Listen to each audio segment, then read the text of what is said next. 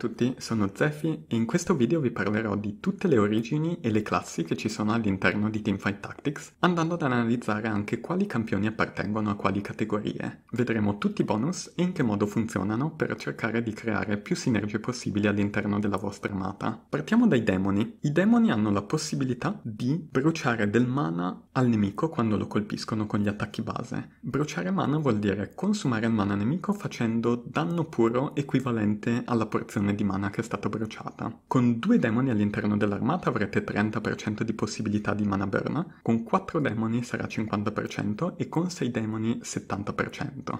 I demoni sono Atrox, Brand, Elisa, Evelyn, Morgana, Swain e Varus.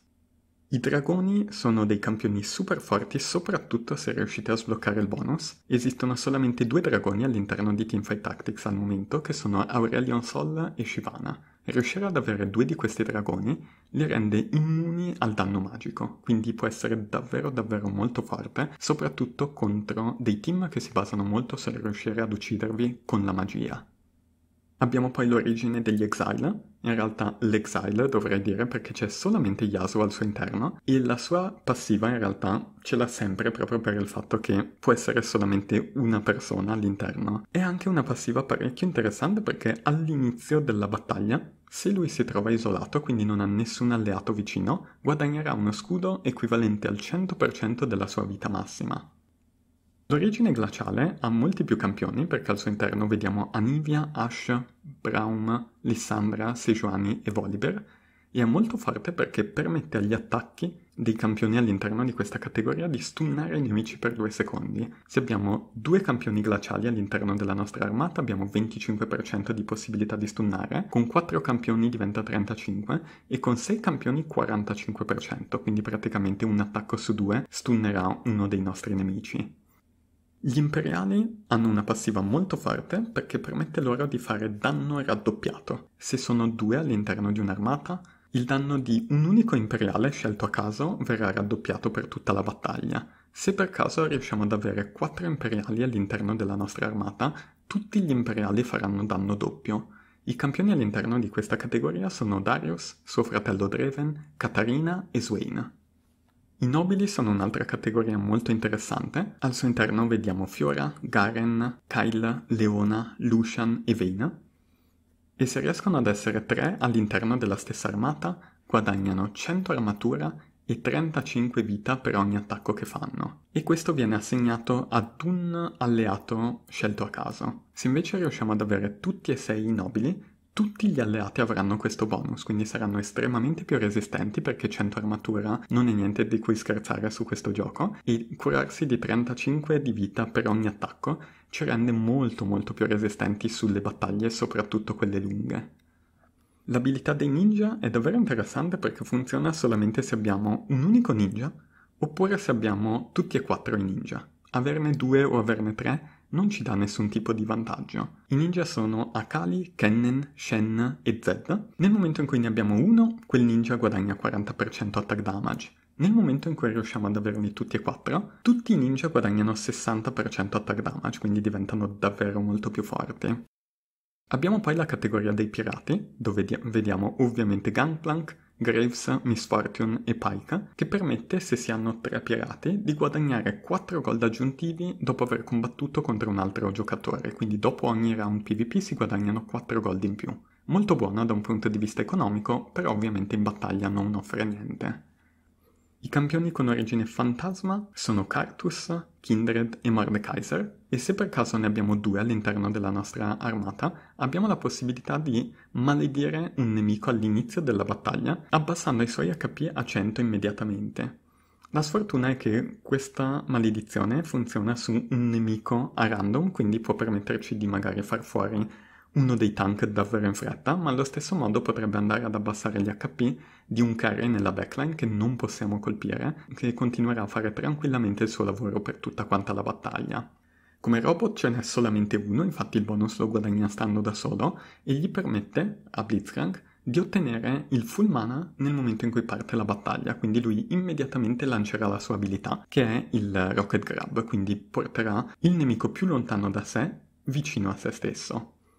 Un'altra categoria è l'origine del Void, dove vediamo Cho'Gath, Kassadin, Kha'Zix e Rek'Sai, e se per caso e se raggiungiamo tre campioni di questa categoria all'interno della nostra armata, i loro attacchi base ignoreranno 50% dell'armatura del nemico, alzando notevolmente il quantitativo di danno che possono fare.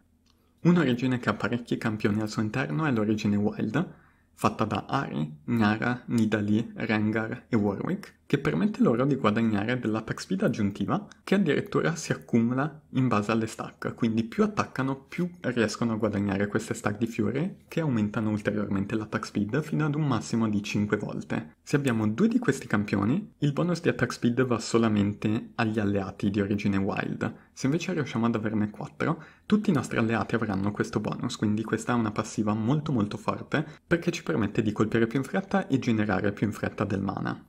L'ultima origine che vediamo sono gli Yordle, composti da Gnara, Kennen, Lulu, Poppy, Tristana e Veigar, e gli attacchi contro gli alleati Yordle hanno una possibilità di mancare. Se ne abbiamo 3, la possibilità è del 20%, se ne abbiamo 6, la possibilità diventa addirittura del 50%, quindi sono molto buoni per resistere gli attacchi base da parte dei nemici. Andiamo a vedere invece le classi. La prima classe che vediamo sono gli assassini, composti da Akali, Evelyn, Katarina, Kha'Zix, Pike, Rengar e Zed. Nel momento in cui raggiungiamo tre assassin, sblocchiamo la possibilità di saltare sul nemico più lontano all'inizio del combattimento e fare danno aggiuntivo con i Critical Strike, su 3 abbiamo 150% di danno critico, su 6 arriviamo addirittura a 350% di danno critico e questo rende una combinazione di molteplici assassin davvero molto molto forte nel gioco. I Blade Master hanno 35% di possibilità di fare danno aggiuntivo su ogni attacco. Se ne abbiamo 2 sarà un attacco aggiuntivo, se ne abbiamo 4 saranno 2 attacchi aggiuntivi. Questi campioni sono Atrox, Draven, Fiora, Gangplank, Shen e Yasuo, praticamente tutti quelli che hanno una spada in mano. I brawler guadagnano bonus aggiuntivo alla vita massima, se ne abbiamo 2 hanno 300 HP bonus, se ne abbiamo 4 hanno 700 HP bonus, quindi davvero buono per i tank. In questi campioni vediamo Blitzcrank, Cho'Gath, Rek'Sai, Volibear e Warwick. Gli Elementalist sono anche loro una classe molto interessante perché la loro abilità di base permette loro di guadagnare doppio mana dagli attacchi, quindi generano le proprie ultimate più in fretta. Quando raggiungiamo tre elementalist all'interno della nostra armata, all'inizio della battaglia summoniamo un golem, quindi una specie di grossa Daisy o Blue Buff, non sono sicurissimo di cosa sia, che va in giro a colpire nemici, a tankare al posto nostro e così via, quindi davvero una combinazione molto forte. I Guardian sono un'altra combinazione molto forte, abbiamo Braum e abbiamo Leona, quindi sono gli unici due che possono far parte di questa categoria al momento, e all'inizio del combattimento, se ne abbiamo due, tutti gli alleati attorno ai nostri guardiani guadagnano 30 armatura aggiuntiva, quindi è importante disporne in punti diversi della nostra armata, in modo che più persone riescano ad ottenere l'armatura aggiuntiva.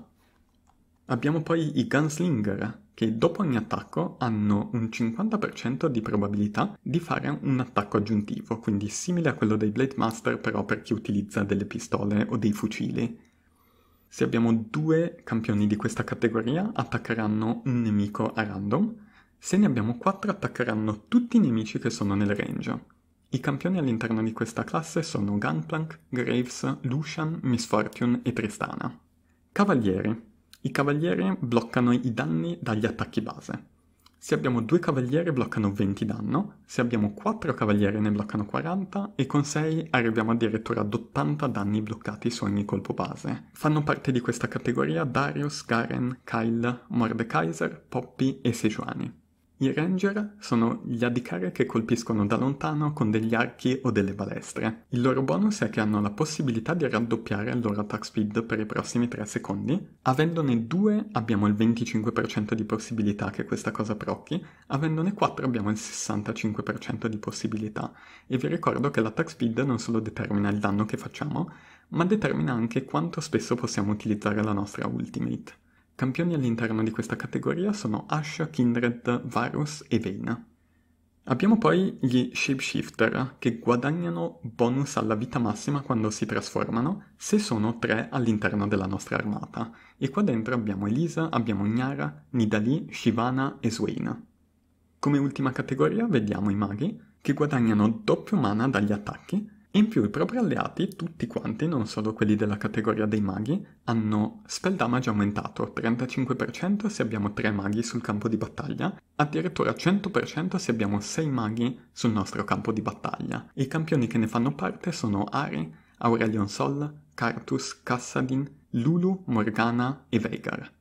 Detto questo abbiamo finito sia le classi che le origini. Fatemi sapere nei commenti cosa pensate che sarà più forte e soprattutto Cosa vi attira di più e cosa pensate di voler provare una volta che il gioco uscirà? Grazie a tutti per aver guardato il video fino alla fine, alla prossima, ciao!